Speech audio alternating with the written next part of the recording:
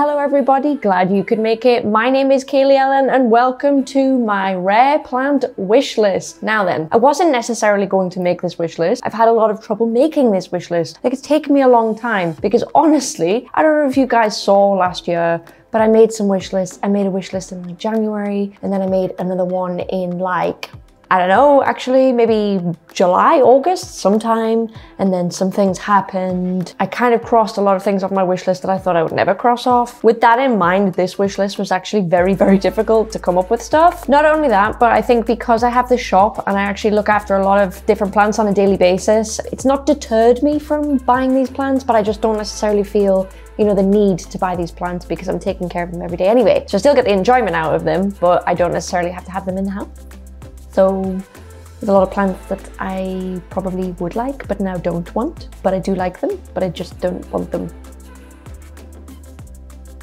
So it's not the biggest list in the world. I think there's only about 10 plants on it, but hey, you know, it's probably going to get bigger over the course of the year. One other thing before we start, yes, this is my Christmas tree. I'm not sure of the date that you're seeing this video, but it is New Year's Day on this, you know, day of recording. So I want to show you all my tree because as you know, I've been absent and I don't know if anybody saw my tree. And I only put this tree up on, let me think about this, something like the 21st of December. So get a good look at my tree. Now these plants are in no particular order. Usually I group them into like say Monstera and then Philodendron. I haven't done any of that. I've just I've just kind of jumbled them up, because why not? The first plant on my rare plant wish list is a plant I'm not entirely sure of the name of it. I don't know if it's been fully described yet. I am not sure. But I will say this, I saw this plant on House of Monstera's Instagram a while ago at some point last year, and I have no idea what it was, but I fell in love with it. And even in its juvenile stages, this plant looks incredible. So what I think I'm after is either a Monstera deliciosa var. sierrana or Monstera dilacerata. And I think I featured dilacerata in a rare plant index, well, the Monstera rare plant index ages ago. Um, I will include some of the pictures that I saw throughout the year that made me fall in love with this plant, but I have to have it. I think it looks fantastic. I really, really do. It looks unique to a lot of Monstera. I've seen, and at this point, I've seen quite a lot, let me tell you. Like literally, I saw this on Instagram and I was like, oh, was ist? So when I find out what it is, I will get it. I will get it. So the next plan on my red plan wish list, I'm not like, I'm not 100% that I want, but I'm leaning very strongly towards. You guys know this, I can kind of want something, then I kind of change my mind and, you know, that kind of thing. But I'm thinking about the Epipremnum skeleton key. Now, I realize this is, I mean, it's weird as heck, really. It gets its name, I can only presume, because the leaves look a lot like keys, and it kind of reminds me of an alocasia stingray that just kind of got melted or chewed up and spat out. I guess that's kind of like an argument for and against it, so mm, I don't know. I feel like I only ever see pictures of this plant usually with just like someone showing off the one leaf. I really, really want to see what it would be like to have like a fully established like bush. So I think I want to give this one a try. Not crazy about it, don't get me wrong, I'm not crazy about it. I kind of I kind of go on and off it, but at the minute I'm definitely thinking about getting one. Next up on my rare plant wish list is a plant that I originally wanted the original version of it, but now I know that there is kind of another version of it. I really, really want that one because as you guys know, I don't have a lot of space in my flat where I'm currently living. If I want a plant, I usually get like, I don't know how else to really describe it other than I just get like the upgraded version of the plant. So the plant I'm actually looking for is a variegated Rhaphidophora tetrasperma. As I say, I've wanted a regular tetrasperma for some time because I think I just I just love the leaf shapes. But I'm quite happy, like I'm in no particular rush. I'm quite happy to just wait it out and then just get a variegated one. I do realize it's going to take a little bit of a hunt. I know there's some Facebook auctions that might, you know, pop up uh, with this plant on it. I don't really know, but I know they exist. I know that I would quite like one, so I will be kind of on the hunt for that this year. This next plant on my wish list, I've actually had, I think I've had a few people ask me to stock this in the shop, and I was kind of like, yes, I know, I'm, they're awesome. I'm looking for one for myself as well. So I haven't found it yet, but the next plant on my red plant wish list is none other than the Philodendron lynamii. I'm pretty sure that's how you kind of go about saying it. It is a big heart shape, and I know I, I have a problem. I do I have a problem with heart-shaped philodendrons in that that I usually have to collect all of them. So it's it's not great. But this one is cool. When the new leaves come out in a similar way to Florida Ghost leaves coming out kind of white colored, these leaves come out bright red, like bright red. So I really, really, really want to give one of these a go. I think it's one of these plants where if you watch it grow over time, you'll get like 10 times more enjoyment out of it just because this red color is temporary and it will fade in the similar way that obviously a Florida Ghost leaf would fade. And I am quite keen on watching it grow. I think it could be really, really, really, really pretty. Right, so, so this next plant, as I say, this is in no order. This next plant is like, like I feel like every time I do a wish list, I always put like some sort of unicorn on the list. This is kind of that situation, only it's not a unicorn that everybody thinks I'm probably going to tell you about. I don't think it's a well-known unicorn. I realize I'm being very cryptic here. Basically, okay, basically. So last year, I'm pretty sure I might have to check, but on my rare plant wish list, like the first one I did in January, I said, you know, I really, really want a staghorn fern. But I do want to wait until I get my own house because at the moment I rent. I want to wait, I want to mount it on the wall, I want it to just look amazing. However, during my searches on the internet, I happen to find that technically it is possible, and I realize this is possible with every plant, but technically you can get you can get a variegated staghorn. Now, they, they aren't cheap from what I've seen, but you can get it and I want it and I still want to get it and, you know, mount it on my wall in my house. But obviously, and I know I've said this and I'm laughing because I've said it so many times and it's just, it hasn't gone that way. But I really, I'm not expecting to find this. I'm pretty sure I've only seen one on the internet, okay? That's a variegated staghorn, one on the whole internet. I might be very wrong because I'm using a picture that I found a long time ago, like halfway through last year. So I could be very wrong about this. Ooh, it looks so good. So yes, variegated staghorn fern. I do still want a green one as well, but the fact that there is variegated, I mean. So the next plant on my wish list isn't a specific plant, okay? And it's not even a type of plant that I, I actually own at all. It's just not. But the more I think about it, the more I'm really, really fancying an indoor palm tree, okay? But there are so many different palm trees you can get indoors. I, all I know is I'm pretty sure that I want a variegated indoor palm or a palm that is variegated that you can keep indoors. Now, I know that is a tall order. Don't get me wrong. I fully, fully appreciate that is a tall order, but I really, really want one. I think I'd like a palm anyway for indoors. It's not that I wouldn't have a regular palm. It's just a variegated one would be, I'm sure we can all agree, very, very special. So I've been looking into what I think, I don't know how you pronounce this, liquala? Licuala? Some sort of variegated indoor palm. I have seen, I'm looking at a picture now of the Licuala Mapu, whatever it is. It looks okay, maybe. It's I don't know if it's quite what I'm feeling.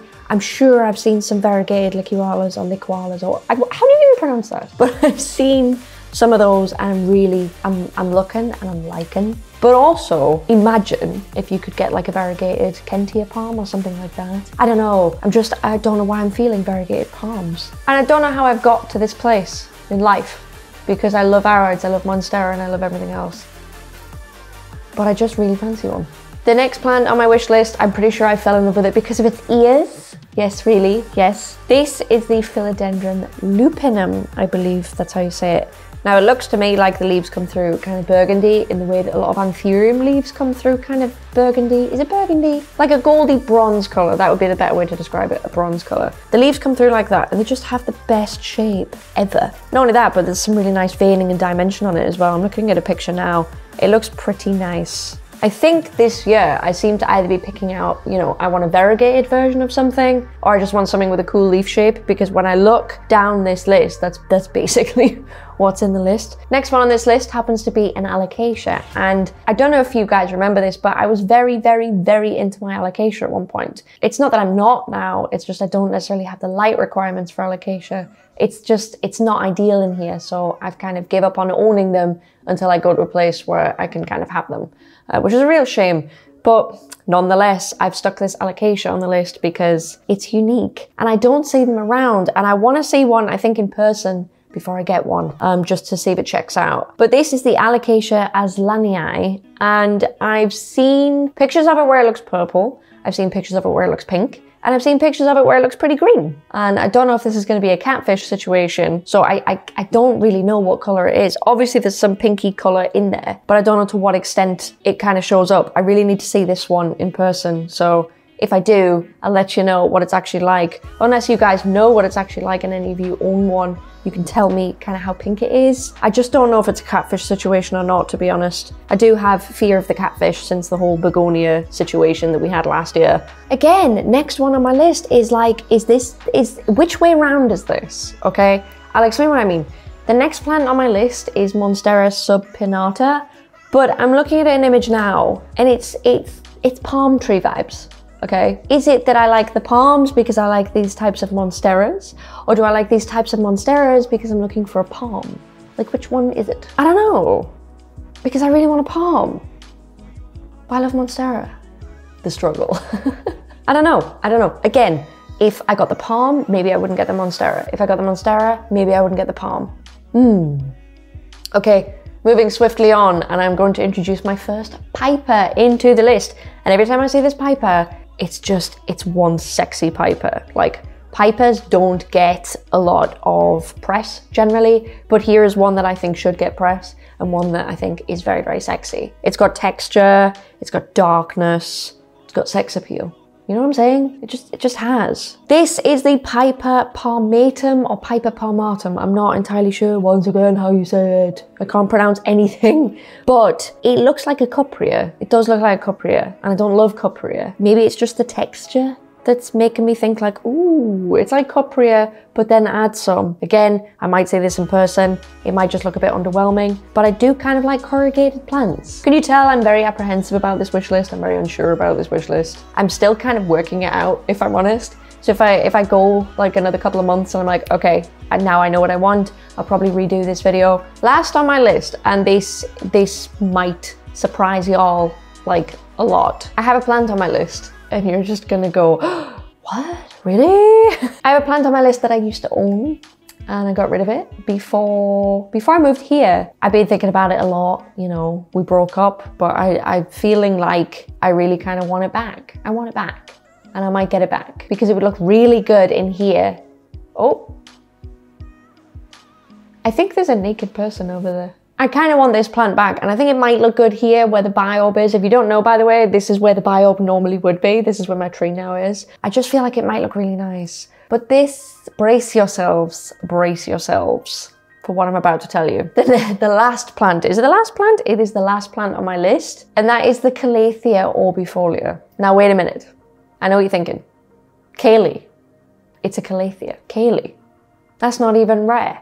I know, I know, I know. And I'm stressing out about whether to take the plunge because I know it's not necessarily the easiest calathea to look after. I think when I had this, I'm pretty sure it was my most difficult calathea by far. Not that I had necessarily super difficult calatheas, but I'm just kind of worried because, you know, I'm I go to and from the flat all the time. I'm not necessarily going to hit warring when I need to. Am I just going to get it into a crispy mess? I don't really know. But let me know in the comments if you think I should get a Calathea orbifolia back because I'm so, so, so tempted.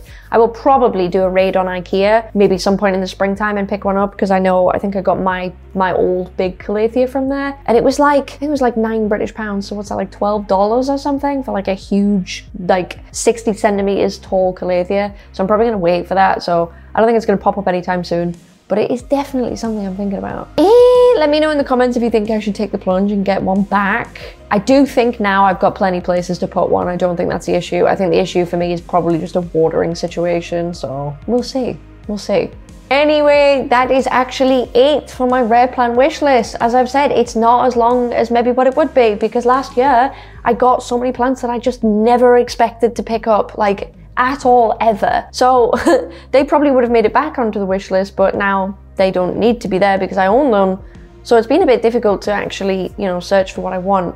Also, I'm so firmly nested in aroids, I've, I've kind of forgotten what else there even is. So if you think of any plants that you know you think I might like, uh, please do comment them below. Similarly, let me know what's on your wish list because I'm always very curious to see. Not only that, but I can probably steal some of your plants on your wish list. If you like this video, please leave a like down below. If you'd like to see any more of my content that probably will never have this tree in it ever again, then please feel to hit that subscribe button. I do a ton of videos from care videos to rare plant indexes to repot with me to, I don't even know at this point, dish the dirt, everything. So if you're interested in any of that, then please hit that subscribe button. And also feel free to follow me on Instagram. I do post, honestly, I do. It's been a bit of a lull since I've been very unwell, but I do post content on there. I post a lot of stories on there, so that's a good way to keep more up to date with what I'm up to or what's going on. So thank you very much for watching.